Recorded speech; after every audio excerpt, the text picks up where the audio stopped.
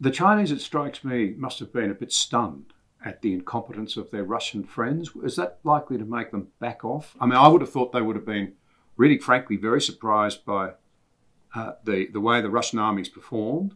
They would have been very surprised by, the, and I, I'm surprised at the effectiveness of NATO and pulling itself together under Biden's leadership, as I look at it.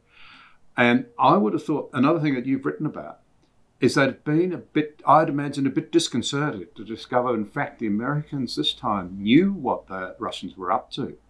It was plain their intelligence was very good, and it was a very clever tactic to start to, in a wise way, inform the rest of the world what they were doing. Those three factors would surely give China pause to stop and think we better take a little more time to work these things through. Yeah, I, I, I had a conversation about this with um, a few Americans in administration. Obviously, it was wasn't a classified conversation, just a, a casual but closed conversation. And the general consensus was that um, what's happening in Ukraine might have bought us, you know, perhaps five years on Taiwan.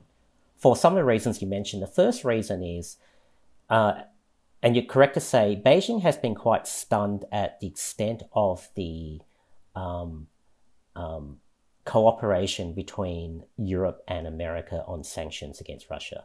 The calculation very clearly before the invasion was that Europe and America would be divided, and America would slap a few sanctions on, but it wouldn't really be um, a, a game changing sanctions. The Chinese now realize that if there's any kind of war, for example, over Taiwan, the high likelihood is that the Americans would get uh, global cooperation to start imposing extremely harsh, particularly financial sanctions on the Chinese, and that would devastate the Chinese economies. That's the first point. The second point is that, um, yes, there certainly has been surprise as to how badly the Russian military has performed. But part of the reason is that, you know, when you fight a war across more than two domains, so the domains of war are land, sea, air, cyber, space any war in, involving more than two or more domains is really complicated. Um, and only the Americans tend to do it that well. If you look at the Chinese and the Russians over the last 20 years and you look at their military budgets, they're impressive in terms of numbers, in terms of the weapons they produce, but they haven't actually invested a lot in logistics and organization. Um, and, and, and so this will have given the Chinese Communist Party and the People's Liberation Army pause uh, for thought because they haven't invested, as with the Russians, they haven't invested in logistics and coordination across different domains as as well as the Americans have. So it's great to have all these powerful weapons, but if you can't actually use them in a field of battle in a coordinated way, then we see what happens. That's that's the that's the, uh, a further reason. The final reason is that um, you know, unlike Russia, China still seeks to be known as a legitimate or respected leader. You know, Putin plays a rather brutal, blunt game. It's really just a coerce through energy and military.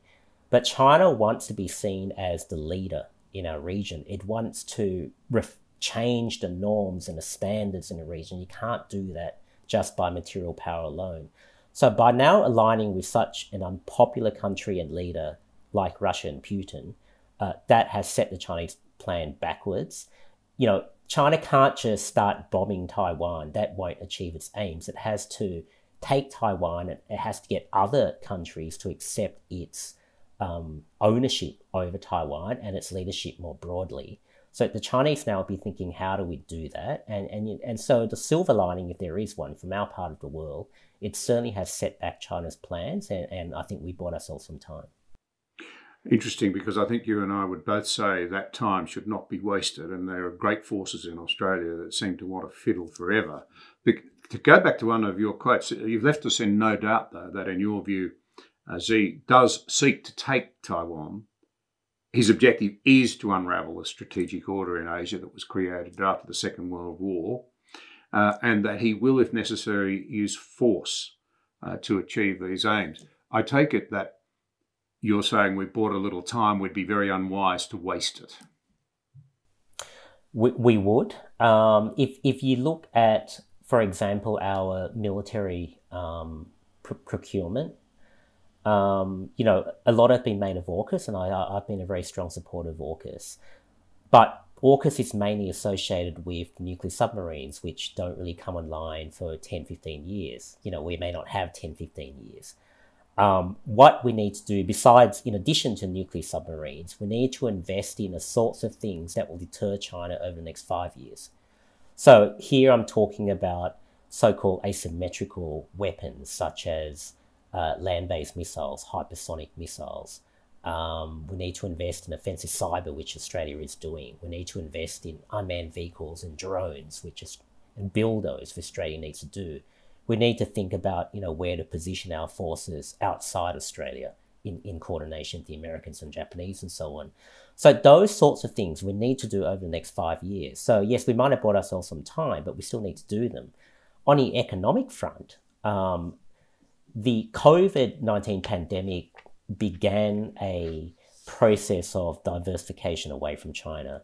That now needs to be accelerated um, you know, we now need to factor in the real political risk um, of of being so reliant on China. I mean, I, I speak these days to a lot of business executives who sort of understand the world's changed, but I don't think they still understand the extent to which the world has changed. So I say to them, for example, um, there is an ever increasing chance of a conflict in Taiwan or somewhere else with China. And if there's a conflict, regardless of the result, you will not be sending boatloads of iron ore to China during the war or after the war. You know, everything changes.